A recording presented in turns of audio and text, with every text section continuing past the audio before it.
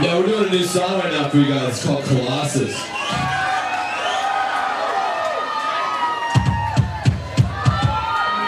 Claudia. She's gonna sing with us.